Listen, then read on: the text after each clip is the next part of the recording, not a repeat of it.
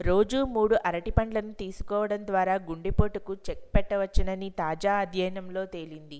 British Italian పరిశోధనకు నిర్వహించిన అధ్యయనంలో రోజువారీగా మూడు అరటిపండ్లను తీసుకునే వారిలో హృద్రోగాలు సమస్యలకు చెక్ పెట్టవచ్చని తేలింది.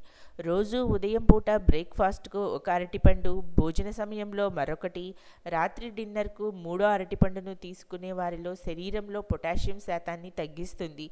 అలాగే మెదడు రక్త సంబంధిత రోగాలను ఇరవై ఒకటి శాతం వరకు నివారించవచ్చని పరిశోధకులు తేల్చారు.